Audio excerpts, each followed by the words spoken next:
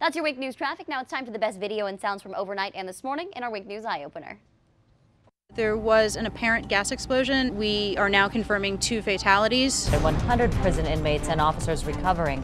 This after an overnight gas explosion at the Escambia County Jailhouse. Now, this happened in the main booking area. This potentially could be related to weather. Uh, the spokesman on the scene here says that there was extensive weather-related damage. They think as much as 22 inches of water, uh, as much as five inches in an hour, and the water just came up so fast. Thousands of people in Pensacola are making their way through the streets in boats after the rainiest day ever recorded, thanks to a severe and deadly storm system. Roads torn up, uh, water clear through home. One block could be just completely devastated. The next few houses over untouched. Powerful winds in Athens, Georgia pushed a tree onto a man's car, killing him. Take a look at this Baltimore road that collapsed because of a landslide. Today, Thomas Murray is expected in court for a first appearance.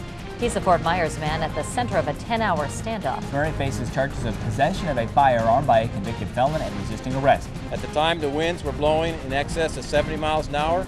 It made the fire very difficult to access. A thousand acres have already been scorched. Air attacks impossible. Price you pay for living in the uh, you know, near a wilderness area. Toronto Mayor Rob Ford will take a leave of absence to seek help for substance abuse. Ford will also take a break from his campaign. For the good of the city, I call on Mayor Ford to resign from his office as mayor. Yes, I have some crack cocaine.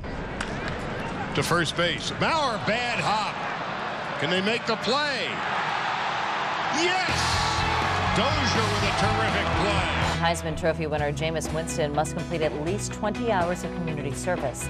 The requirement comes after Winston allegedly walked out of a Tallahassee grocery store without paying for $32 worth of crab legs and crawfish. Really? Really?